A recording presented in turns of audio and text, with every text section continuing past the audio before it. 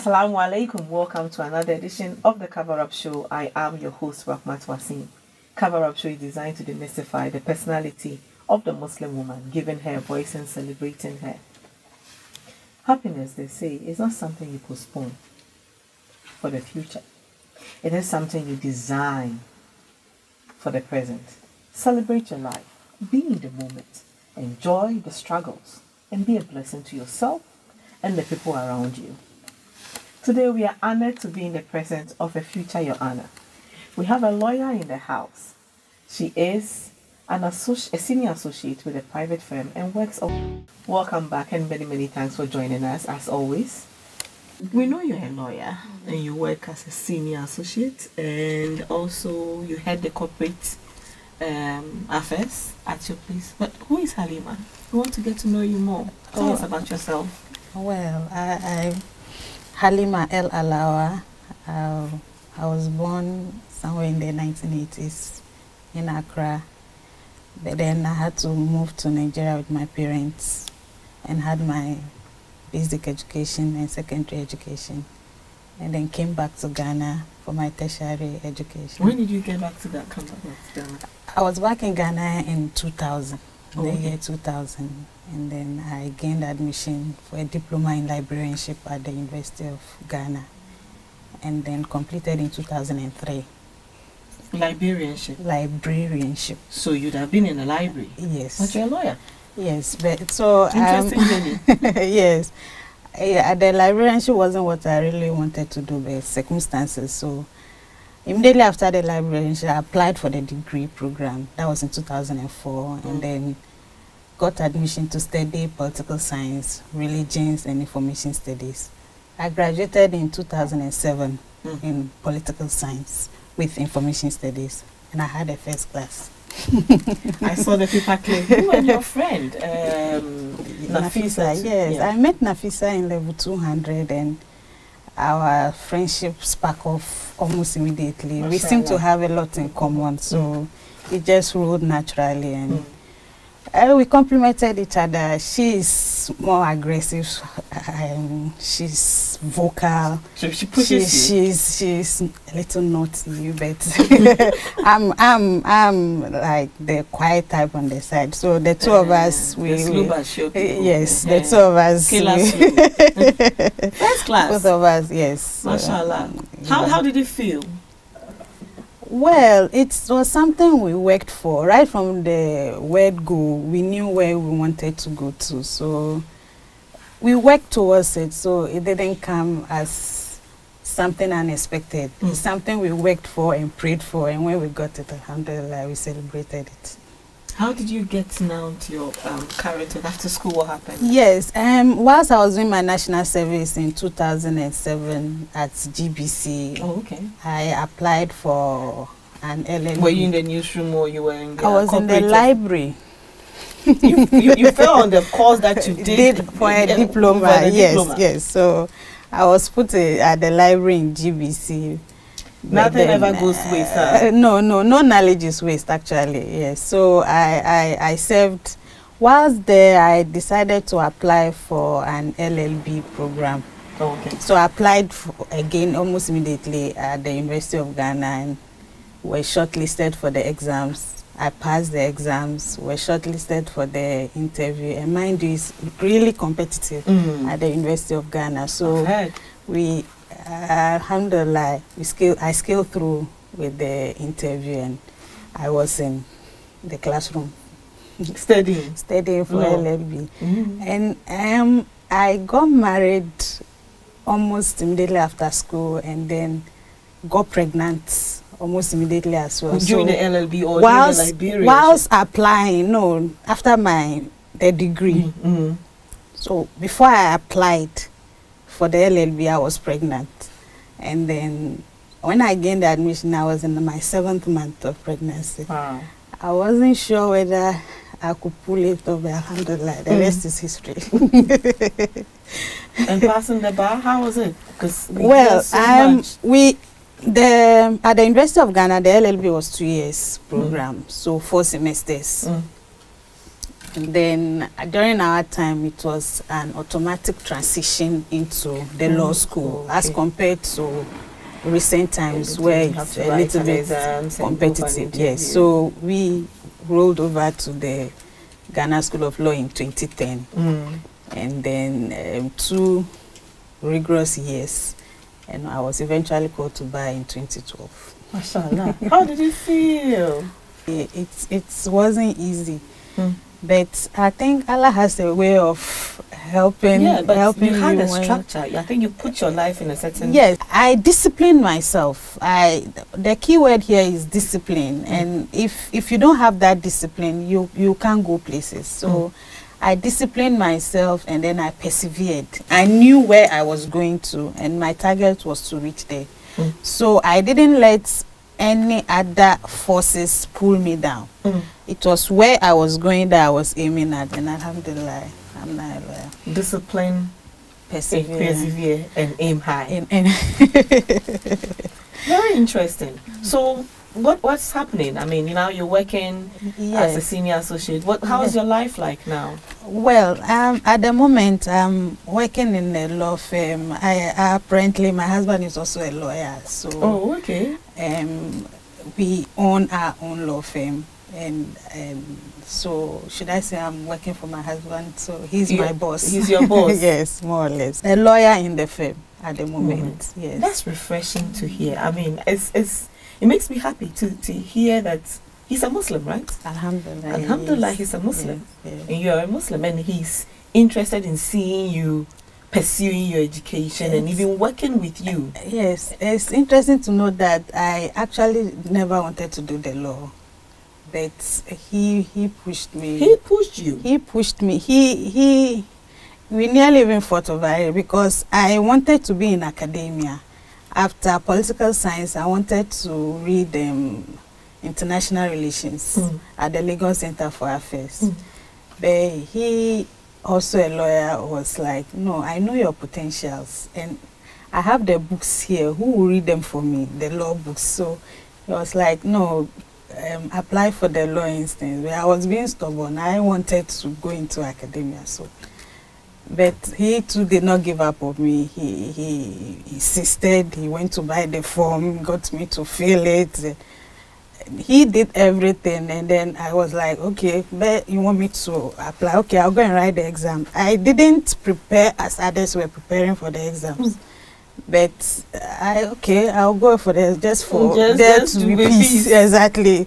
Well, when the, ex- the results came out, unfortunately, those who were keen on it did Didn't didn't get the admission exactly, and I didn't put in so much effort. And there it was. My name was on the board for having passed the exam. Mm. So I was like, wow.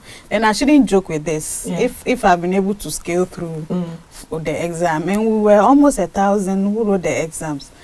And it was scaled down to about, if my memory serves me, about 400 or so. Wow. I was like, no, then I shouldn't joke with this. Yeah. It looks like it's it's uh, uh, something that I shouldn't take for granted. Mhm. So I, I really put all my efforts into the interview, and Alhamdulillah, I also passed the interview. Wow. And you're working with him. I'm working. And uh, on a typical how does it feel like? well, work is work. Mm. I've, I've, as I said, I've disciplined myself. Um, work is work. Um, I, I, as soon as I step out of the courtroom or I step out of the office, I leave my, my law there. And as soon as I get to the house, I'm the wife. You're the so wife, you're the there's, there's mother. a, there's a, I- I've, I've demarcated it. I don't let one control the other. When I'm in the office, purely office work. When I'm in courtroom, purely courtroom work. When I'm at home, you can imagine with Mhm. the kids and all, you mhm. kitchen, frying, cooking, all. So there's So you a, sort of there's a split Halima into all the various roles. I wonder how I'm even able to do it, but Mm. I'm able to define the lines. Mm, I mm. try not to bring work home. Yeah. I try not to have divided attention as far as the kids are concerned, so that if you bring work home, how how do you So if I have any schedule, I try to finish it in the office. Mm. When I'm home, I think that's Your another mommy, department. Yes, Another yeah. depa- eh, that's another fact, department. It's a whole industry yeah, I agree with you. That's another sector altogether. So I don't let each, I don't let one roll into the other. Maybe I try also not to. because of the support of your husband. Because Yes, if you don't have someone who is um, interested in you pursuing education and just because I, I often hear most you know women complain that oh my husband didn't want me to work so I had to stay home and all that. So Uh, so kudos alhamdulillah. kudos to to Mr. he hasn't mentioned any, but you know yourself. God bless you. We are grateful for pushing her, making her to yeah, become he's, he's, know, he's, he's my source of inspiration. a future your honor. We, we, we, we, are, we are waiting for you. He, he's he's my everything, and he has never relented on that. He's Mm. always pushing Mm. till Mm. tomorrow. He's he's always pushing. He's he's always behind me. Mashallah. Any what inspires you? I mean, what what what drives you the most? What's your motivation? Well, and uh, the, to succeed, Yeah. to succeed in whatever I, I, I, I- don't like failures. Mm. I, I don't like to put my efforts in something and then it turns out wrong. I, I, I, I can't I can't stand that. You're a so, sorry loser. No, so no, you, I, you, you I, choose to be on the on the, on the winning side. I I never like no. So I always put my all Mm. and try to succeed in whatever I do. But then at the same time, I'm, I always put the f- fact that I'm a Muslim behind me Mm. in whatever I do. So Allah is my source of inspiration. Inspiration. But definitely, there are sometimes um, some some challenges can come your way, and you know we all don't plan for failures, but sometimes certain things happen that you know make you have a rethink or a minor. What has been the most challenging moment in your life? Um, but that was when I I came back from Nigeria and I was asked to go and do a diploma in librarianship.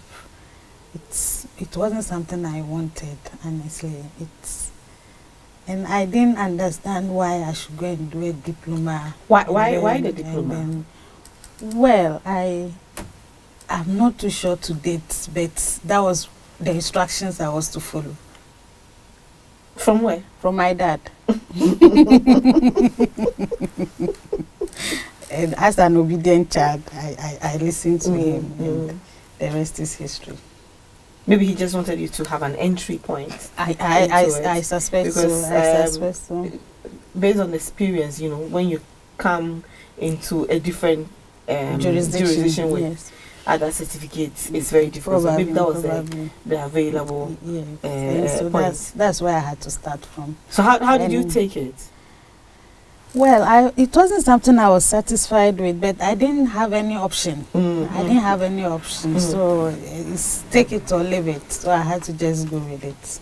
And that, that but I, I scaled through. I, I Mm. did my best. I came surprisingly. I came out with a distinction.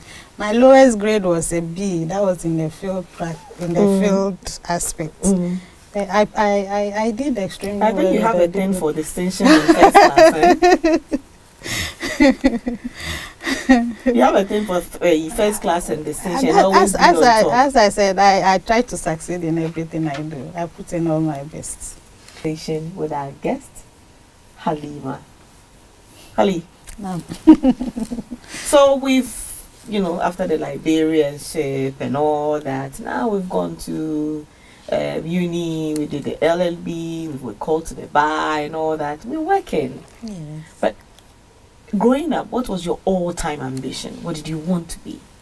Interestingly, and how how did you, how have you pursued it so far? Interestingly, when I was growing up, I wanted to be a journalist. My dad is a journalist, so I wanted to be a journalist. Mashallah. So that was that was all I aimed to. I wanted to be a newscaster. And sit on Uh, TV. Sit, on TV and be reading news. I, when I was even in secondary school, I was in there's this club called the Press Club. I Mhm. was I was I was the president. Then I used to read news for students at the assembly. So I wanted to be a journalist, but the break came when I came down, and I had to go and do the librarianship. So the journalism in me. But you did your service in GBC, if if if my if I heard well. yes, yes. But as I said, I was put in the library, so Mm. I, I my the librarianship that the, the journalism in me died when I was doing the diploma and the degree. Mm. So my focus was to go into academia, Mm. and then but then when my husband came with his LLB thing, I had to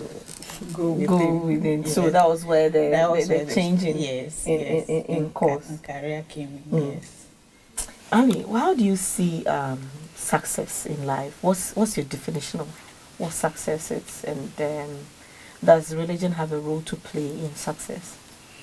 Well, um, when you make up your mind that um, you have a creator who oversees your whole personality, and um, the at the end of the day, you'll be judged by the creator. Mm. And as such, the creator himself has spelled out certain instructions you have to follow. So long as you go by the instructions, you succeed in everything you do. So follow the creator, follow the instruction, you become successful. But what's the definition of what success is? Success is achieving what you set out to do. Mm. So how however you achieve what you set out to do, Mm. and at the end of the day, you've gotten what you want to or what you want or what you want to do. Mm. That is That's success. success. Yes. As far as I'm concerned. That's success. It's true. And and, and me my, my, my the refreshing part is the God factor. Yes. Not taking in, in that because you, you can gain everything but if if you don't have the love of Allah with you, I mean it's it's as if you, you and you've done if if if you live your life without religion, Mm. you are just living an empty life. It's it's cool that you mentioned religion you being a lawyer and being a woman and a Muslim woman at that. Yes. You know we have Muslim women and the myths and this perception that it's almost as if a Muslim woman doesn't have a voice, doesn't have any rights, and everything is determined by the males in her life. What's your what's your take on that? In, in recent times, I've handled cases where I realize um, most women, not only even Muslim women, but most women generally tend to put all their hopes and reliance on the man. Mm. And for, for those who are married, they tend to put all their dependence on their husbands.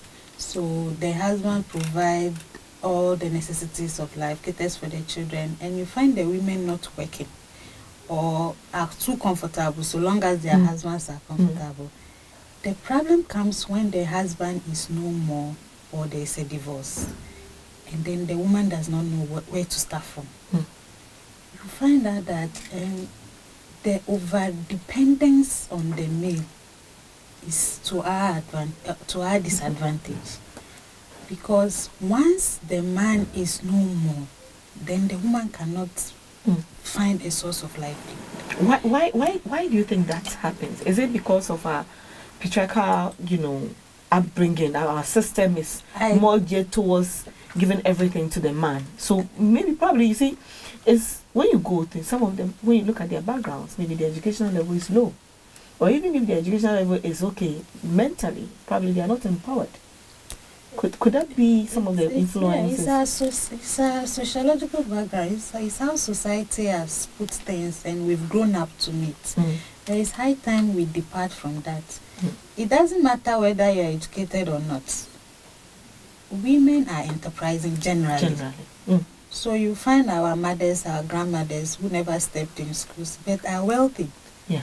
So it doesn't really matter. But I think we become too comfortable when our men are working and sustaining the family Mm, and we feel, oh no, he should do it. mm, Ours is to raise the That's kids. it, But I think um, it's high time most women, even if your husband is well to do, have a source of livelihood mm. find something doing that will you will get regular income in the event that the man is not there life goes You on can sustain yourself. yes because it's so pathetic that you see the woman having nothing. I, I, I did a case where the man traveled for a conference and then lost his life. Oh.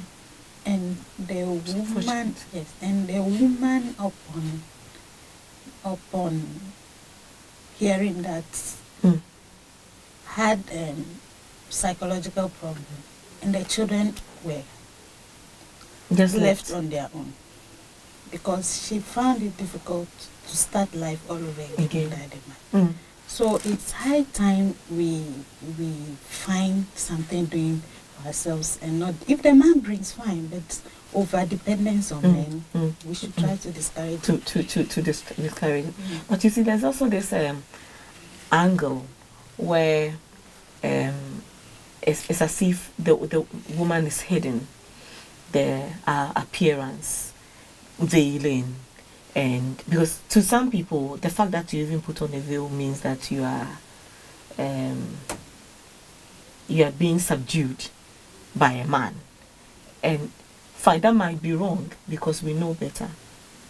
But there's also another angle where most men, most of them, use Islam to subdue their women. I think we we need to educate ourselves as women as well. Mm. We need to read on the position of Islam as far as women are concerned. Never in the history of Islam have women been relegated to the background. Starting with is with the Prophet and his wife. The wife was at an entrepreneur, Mm-hmm. a wealthy woman. Mm. So never. You mean uh, has, uh, Khadija? you go through the women in Mm. Islam. Mm. No, no woman has been relegated to the background. The women in those days were outspoken. So if I think we should read, Mm. Read more about the position of women as far as Islam is concerned. Nothing stops you from doing anything. Your veil can take you everywhere. When I was in the law school, I remember a lecturer asked me, just out of the blues, when you are called to the bar, how are you going to wear your wig and, and, and gown? I was like, when we reach that bridge, we'll cross it. And I've, everyone who knows me, I practice with my veil. I'm, I manage. So you go to the courtroom with your veil on, yes, I wear. and where would you? So you put the wig on. Yes, I tuck my, my veil in, put my beep, and then I'm off to it's I don't even feel I'm in a veil or I don't allow the veil to be hidden. Mm. I never allow the veil to be hidden. It's throughout my, my growing up. I'm out there. There are times I even enter the courtroom and everything ceases. People are shocked to, to see to see a Muslim in in a, in a veil entering the courtroom with a wig with on. the wig with the wig on. So the veil should never deter you. Mm. Our dressing can accommodate everything. It depends on how you. Maybe sometimes to um, we, we should add a little style to the veiling. uh, you can't wear a, a for instance, our, our dress code is black and white, Mm. so you don't go and put the blue veil Mm, and multicolored. enter and enter a You'll be courtroom. looking like a Yes. peacock on, on that peacock note. Um, I just want you to sum up in summary what you would tell our women out there, especially Muslim women, on the issues about rights and their pursuing of their freedoms and living and impacting society. As a woman, um, as a Muslim woman, we are entitled to our Islamic education as Mm. well as secular education. The two should be linked together. Islamic education shouldn't be separate from the secular education. We have to learn both, and that gives us a greater, um, a bigger chance. Mm. We have a upper hand because we have the two. Mm. The Quran is a whole encyclopedia on its own. Mm. So stick by what the Quran says, Mm. and you are fully educated. Thank you very much. Thank you so much. It's been such an insightful and educating episode, and we are grateful. Um, it's my pleasure. Madam Halima El El Alawa. Just before we go, our last one. See that the best and most beautiful things in this world cannot be seen or touched. They must be felt.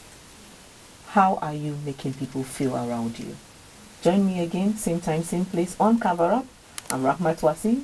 Jazakumullah. May Allah be with us all.